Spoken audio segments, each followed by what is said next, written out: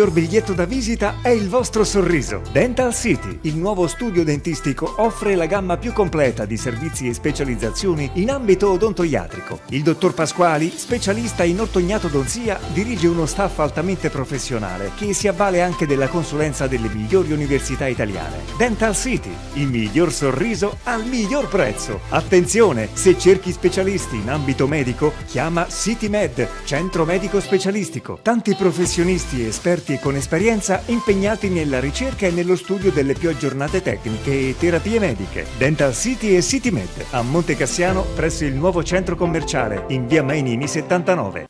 Siamo tornati di nuovo in studio, sempre con la professoressa Campanati ed il dottor Diotallevi per parlare della psoriasi. Ecco, continuiamo un attimo a parlare della, delle terapie. Dottore, qual è, eh, ci vuole dire qual è la differenza eh, tra trattamenti sistemici tradizionali e trattamenti sistemici innovativi? Sì, i trattamenti sistemici tradizionali sono trattamenti eh, che noi utilizziamo da tanti anni, eh, appunto prima abbiamo parlato della ciclosporina, dei retinoidi e del dimetilfumarato. Sono dei trattamenti che, efficaci che hanno degli effetti collaterali, eh, a differenza invece dei trattamenti sistemici innovativi, che sono dei trattamenti molto più mirati alla cura della malattia.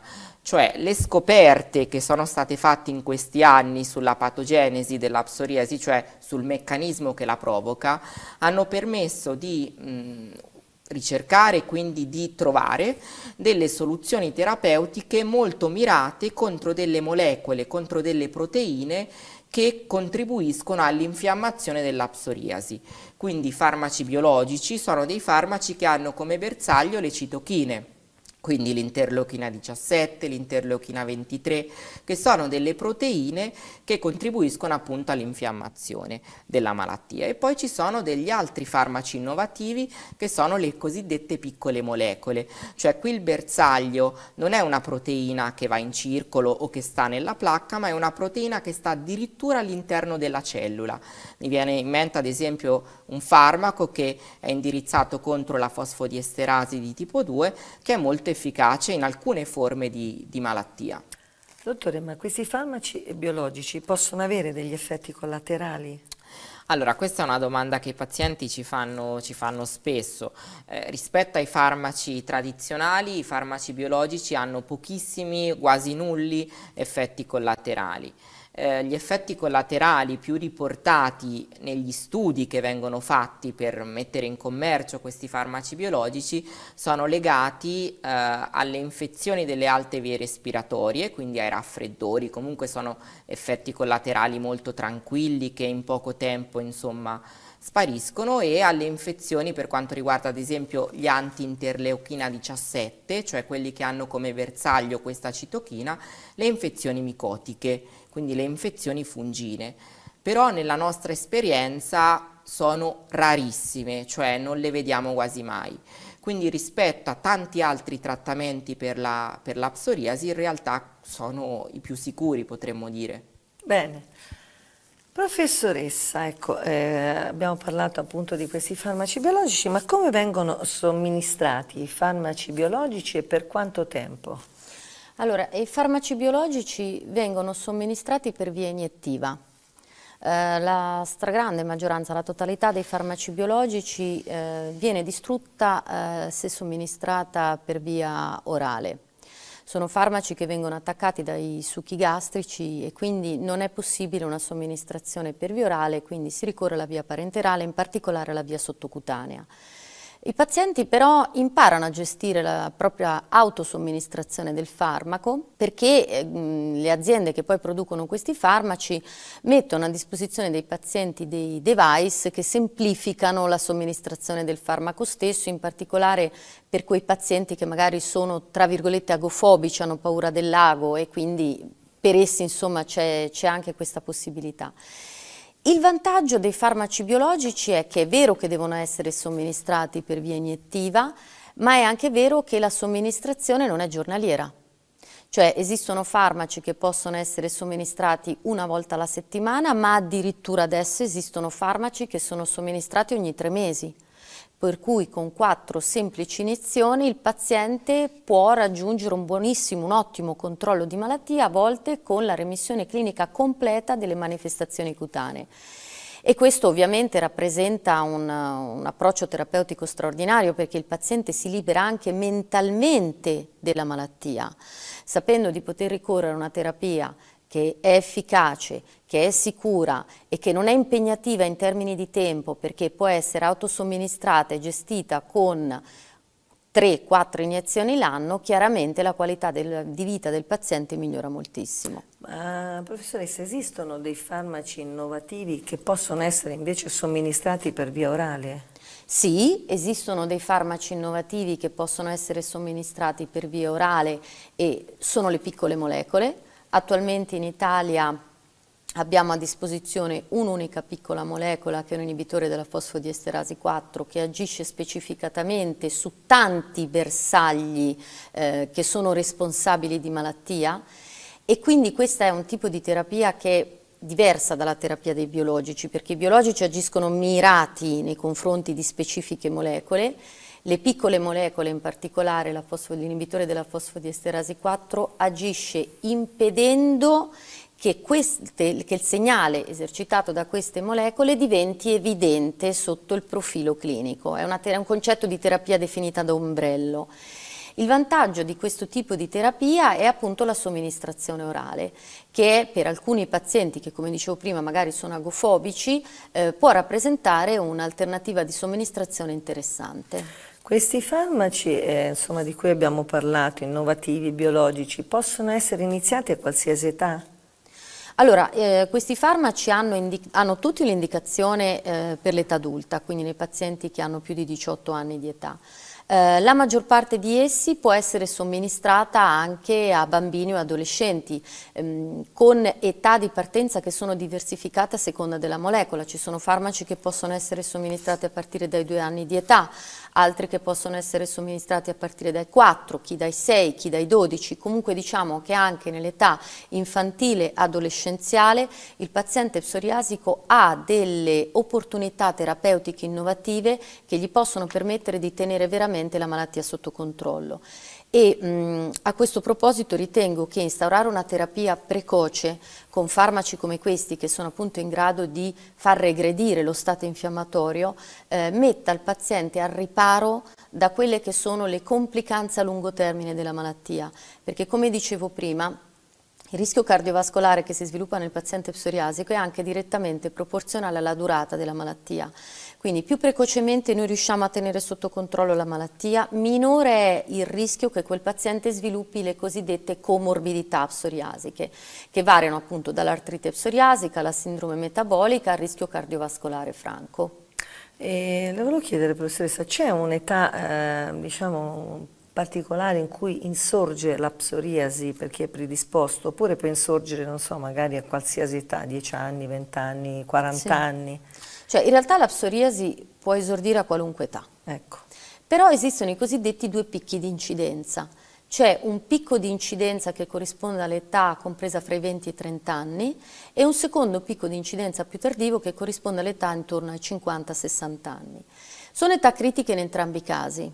Sono età critiche in entrambi i casi perché nel caso eh, del paziente che sviluppa una psoriasi precoce intorno ai 20-30 anni è chiaro che poi la persistenza di malattia per un periodo molto lungo predispone il paziente a sviluppare, come ho detto più volte, rischi eh, di tipo cardiovascolare.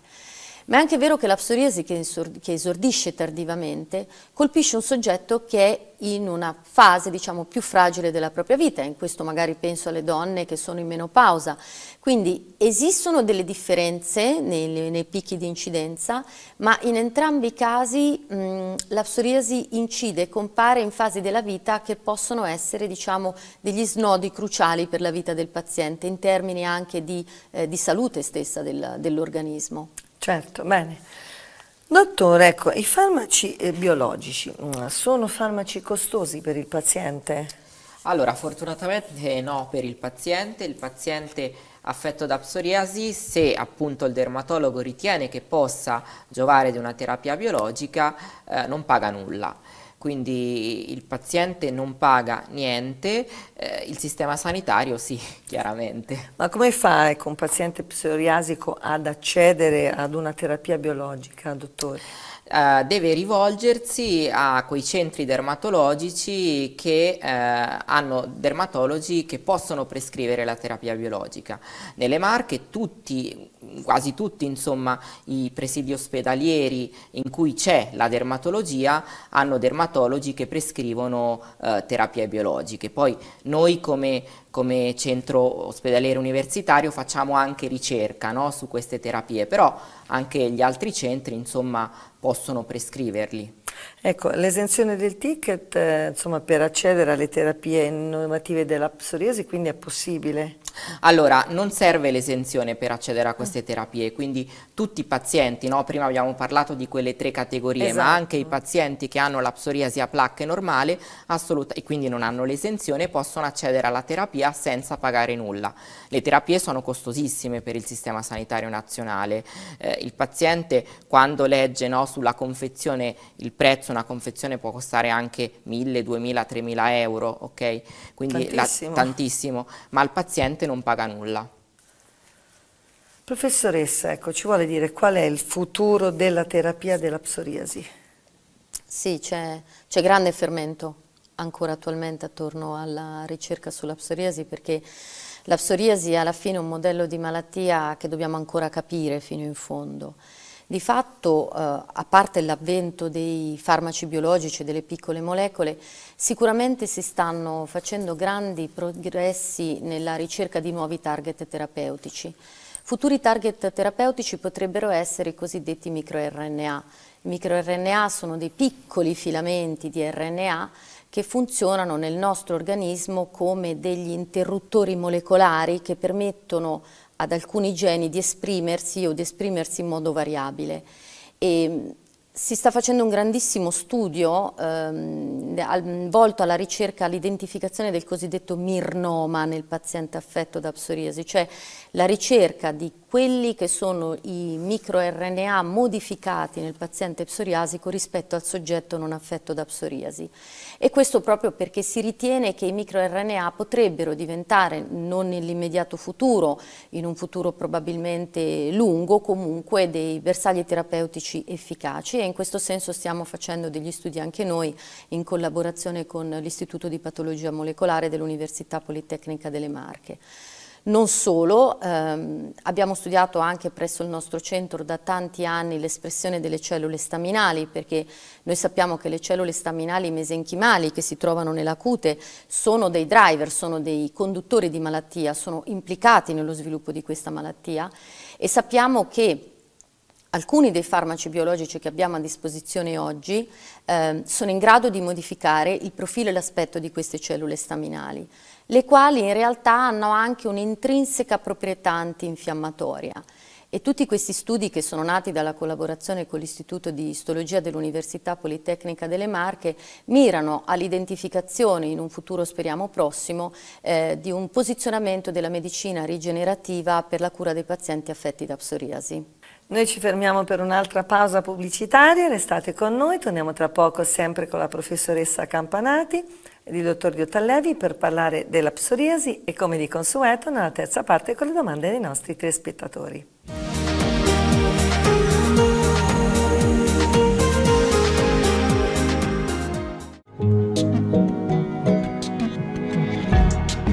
Nuovo polo diagnostico a 25 anni dalla fondazione del Centro Medico Associati Fisiomed, nella sede storica di Via Natali 1 a Sforza Costa, dopo aver aperto centri medici a Corridonia, Tolentino e Civitanova Marche, il gruppo medico Fisiomed ha deciso di raddoppiare e rafforzare la sua presenza a Sforza Costa, aprendo una seconda sede, sempre a Sforza Costa, in via Giovanni XXIII numero 8.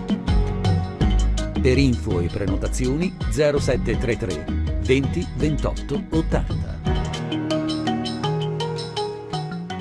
La sanitaria Fogliardi del tecnico ortopedico dottor Andrea Bellabarba Da oltre 80 anni al servizio del cliente con cortesia e professionalità è specializzata nella produzione a mano di plantari su misura di ogni genere, con esame baropodometrico elettronico gratuito, statico, dinamico e morfologico. Negli storici locali di via Esonzo ad Ancona vi aspetta un vasto assortimento di prodotti per l'ortopedia, corsetteria, elettromedicali ed ausili per disabili. Fornitore autorizzato Asur Inail. Disponibilità di noleggio ausili ed elettromedicali. Locali sanificati 24 ore su 24 con tecnologia certificata e da oggi possibilità di acquisto di diversi modelli di sanificatori di produzione italiana. Per informazioni 071 20 33 24. Grandinetti Tende progetta e realizza pergole bioclimatiche, pergotende, verande e tende da sole garantite dal prestigioso marchio internazionale Marchilux. Nei quattro punti vendita dislocati nella regione Marche troverete personale preparato che valorizzerà le vostre esigenze. Soluzioni originali ed eccellenti per valorizzare il vostro balcone, giardino, terrazzo o deor. Approfitta del bonus fiscale e dello sconto in fattura del 50%, valido fino a fine anno.